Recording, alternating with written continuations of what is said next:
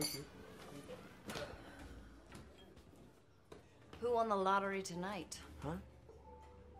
Oh, I'm staying at Al Cody's. So, when do you want to do the have the? The abortion? The sooner the better. Okay. I'll see when the guy can do it then. The guy? I hope it's a doctor. Yeah, yeah, yeah. He's a doctor. You got the money? Yes, I have the money. Don't worry. With you, I worry. Well, you shouldn't. Yes, I should. God knows you never do. You just let other people at your method of birth control. Oh, please don't start with the double condoms again. Do you ever think about the future at all? The future? You mean like flying cars? Hotels on the moon?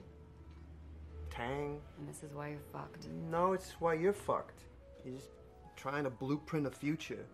Move to the suburbs with Jim, have kids. That's bad. If that's what music is for you, a way to get to that place, then yeah, it's, it's, it's a little careerist. And it's a little square. And it's a little sad. I'm sad. You're the one who's not getting anywhere. You don't want to get anywhere. Me and Jim try. do. I wanna- We try. You sleep on the couch.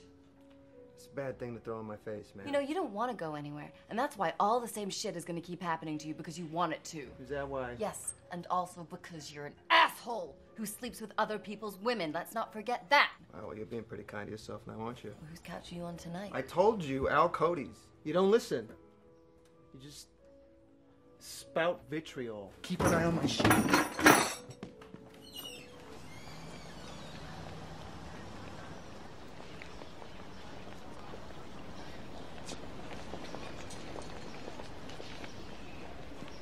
Hey. Hey. Hey. Hey.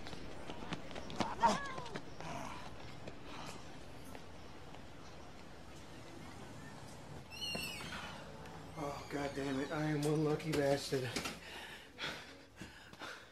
Thanks for suggesting this place.